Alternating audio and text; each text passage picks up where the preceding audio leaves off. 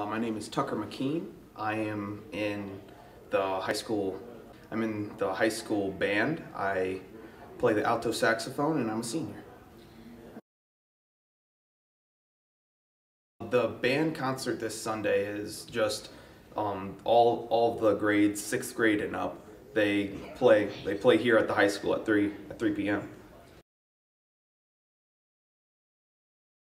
The high school band is going to be playing songs named uh, Good King Swings. It's just an amalgamation of different Christmas songs. Uh, Yuletide Festival is just another caroling song that we do. Uh, we're going to be playing Polar Express, which I'm quite I'm quite excited for that one actually.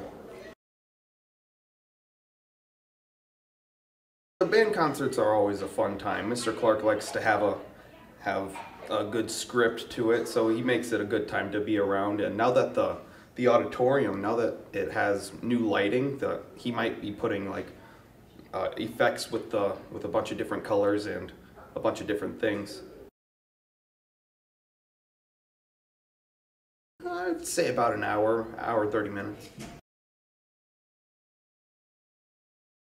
Attendance at at the at the event. Um, well, since COVID, we haven't really been able to do too much, but on a good day, I'd say that we have